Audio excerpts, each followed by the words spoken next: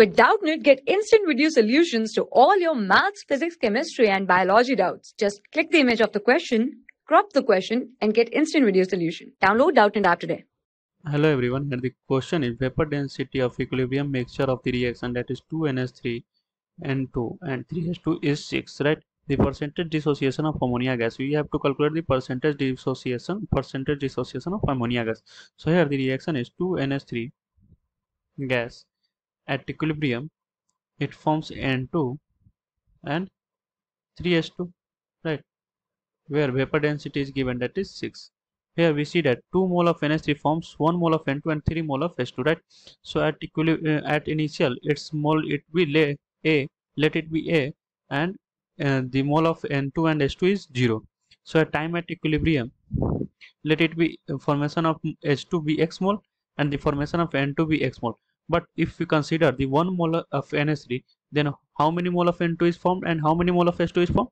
So if 1 mole of NH3 dissociate the N2 is formed uh, x by 2 right? And the 1 mole of NH3 dissociate it forms 3x by 2 mole of H2 right? So here the remaining uh, mole of NH3 is A minus X right? If 1 mole of considered 1 mole right? So from here vapor density is given. So we calculate the molecular weight.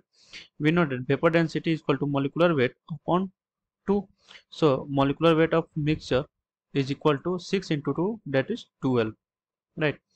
So we see that we also molecular weight of mixture of mixture is equal to n1 a1 plus n2 a2 here three uh, uh, molecule are given. So it is uh, we also write n3 a3 right upon n1 plus n2 n sorry n1 plus n2 plus n3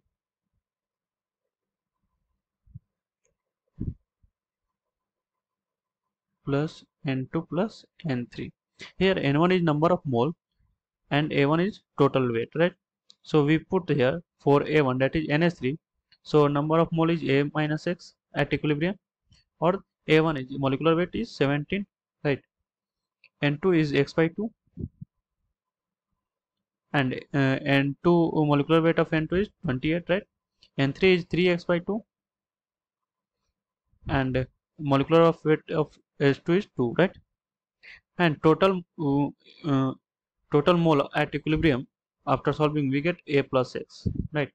And here molecular weight of mixture is we have calculated that is 12 so it is equal to 12 right so if we solve this we get 17a after we solving this we get 17a upon a plus x is equal to 12 right?